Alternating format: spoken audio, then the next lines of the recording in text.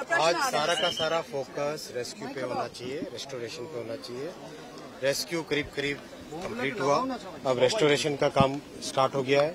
एक तरफ़ से उस तरफ़ से रेस्क्यू रेस्टोरेशन का काम स्टार्ट हो गया है।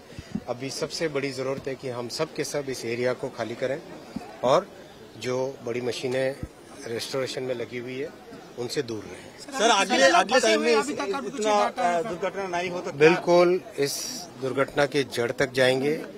और कभी भी इस तरह की घटना वापस न हो उसकी व्यवस्था करेंगे